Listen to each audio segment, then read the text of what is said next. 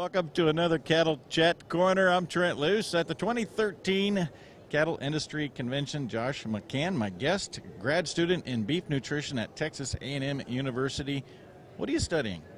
Right now, we're looking at low quality forage supplementation, and so we're looking at improving the digestibility of these low quality forages that are really low in protein, that aren't necessarily going to meet the cow's nutritional demands during gestation.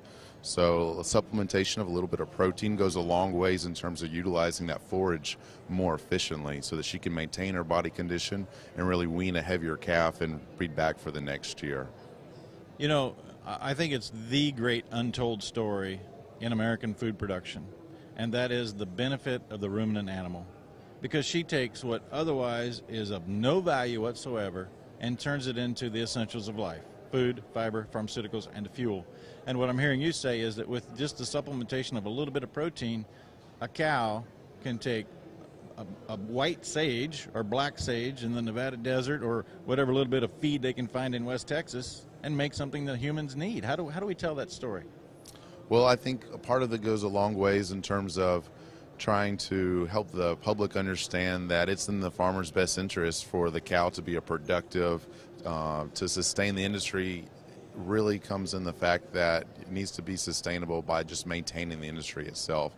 So by supporting the own farmer, and the best way to do that is to be uh, to be productive, to be economical, and really it even benefits the environment in the same way. So the really the farmer and the rancher have the best interest of themselves, the environment, and the American people all together. Yeah, because that cow actually improves the environment by consuming those forages. She really does, and she makes the environment um, really is able to utilize those like nobody else can, and then maintaining a really proper amount of forage and vegetation out there is really important. In addition to kind of like the wildfire type scenario that y'all deal with a little farther out west, especially. I'm sure you're like all scientists, and you got to look at the numbers. Are the cows today the same cows that they were in 1900 when it comes to consuming these types of forages and converting it into beef, or have the cows changed? Well, cows have changed from the sense that the fermentation that goes on internally is the same, but the same cow that needs the is using those requirements um, and the products of that fermentation are changing, and so we typically now have a larger cow even though we kind of went through some changes since 1900, but we have a larger cow, so we're typically needing a little bit more larger quantities of roughage to support that.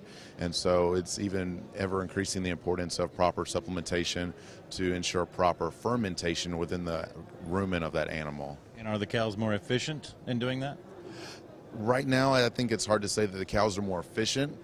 Um, there are some strategies that we're continuing to improve on because really the cow isn't more efficient in terms of utilizing that, but we're really trying to focus on the microbial environment in there and improving that microbial environment to make it a more efficient environment. So a lot of my study uh, actually look at the different types of microbes under different populations um, under those different supplementation strategies. So, under a more efficient strategy, we know we're improving digestibility. What kind of microbes are we favoring in this environment? And how can we use that information to further improve the efficiency of fermentation of these low quality forages?